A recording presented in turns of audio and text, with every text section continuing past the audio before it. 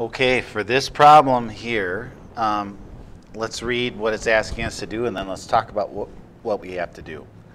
So we have a scatter plot and it says that this shows the number of years of experience X, so that's down here, and the hourly pay rate Y for each of 23 cashiers in Michigan. So it's showing that, you know, as your years of experience increase, you get paid more, all right? And that kind of, uh, kind of makes some sense, right? Okay, so it says write, write an approximate equation from the line of best fit for the data. Doesn't have to be an exact line of best fit. All right, so the very first thing we have to do is we have to make a line of best fit. All right, so let's let's do that. So let's take our line and we're gonna try and kind of run this like sort of through the middle of everything. So I don't know, let's put it about there and then maybe, I don't know, maybe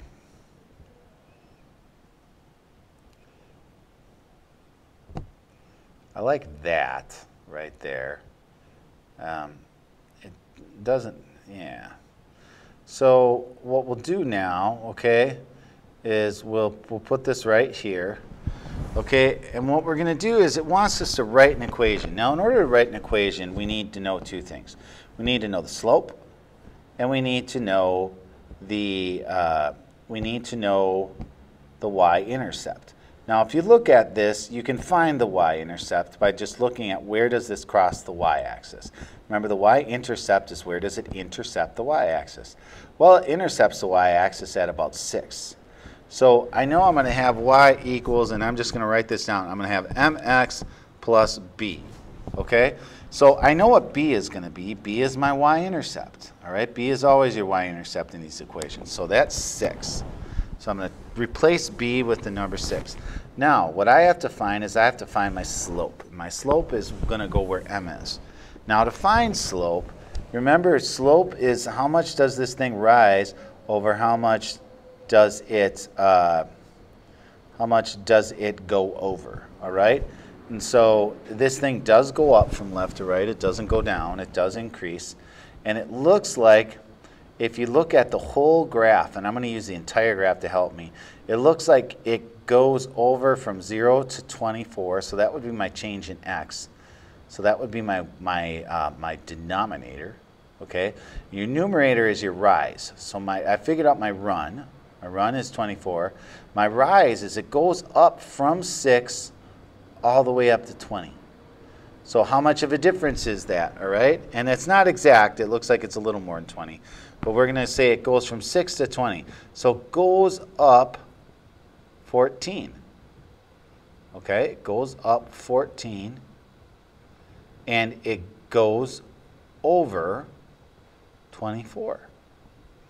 All right, so let's grab our calculator and let's go 14. So that's your rise is 14 and then your run is 24 divided by 24. So here's your rise over your run. And then let's see what it gives us. Well, it gives us this kind of ugly decimal here. And remember, this is approximate. So let's round this to 0.6, all right, and see if it lets us do that.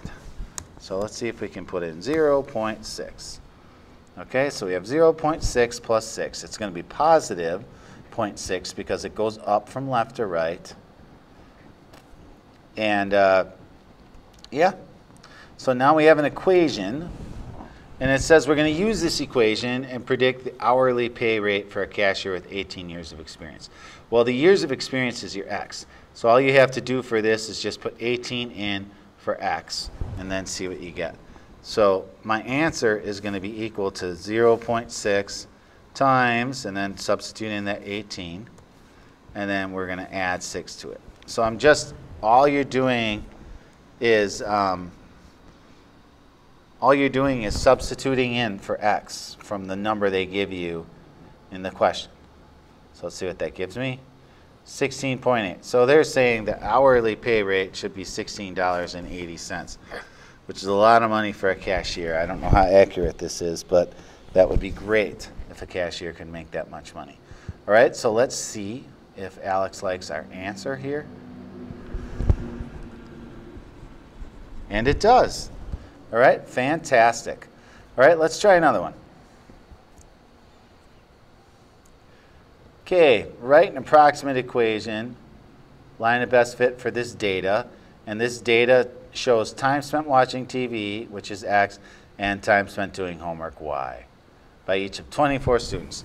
So we got to make our line of best fit, and then we got to write an equation for it. So let's start with that. So let's go up here, and let's put our, uh, let's put this right kind of in the middle between 28 and 32. All right, and then let's take this, and you know what? I hate to say it, but it looks like this could go almost in the same spot. So let's put this also at 30.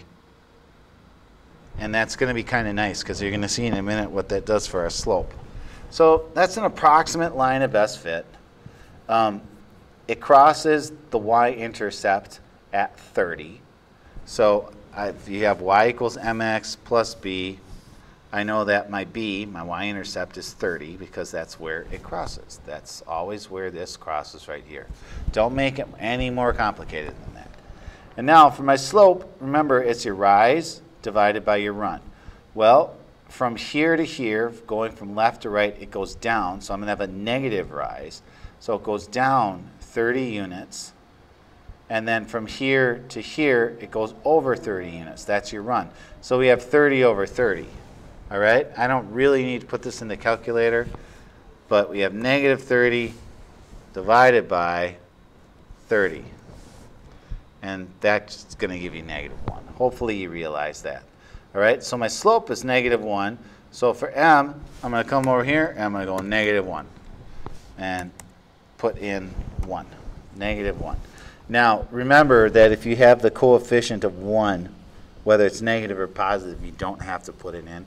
But I'm just going to kind of leave it in here just to let you guys know what it stands for, right? So we have a slope of negative 1.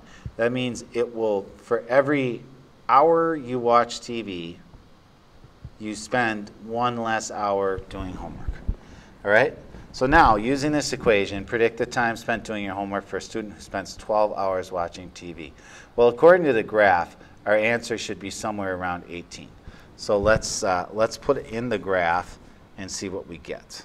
All right? So it's 12 hours. So we go negative 1 times 12 plus 30. And hopefully those of you who are speedy at math can realize that. Oh, look at that, 18 hours, right? 18.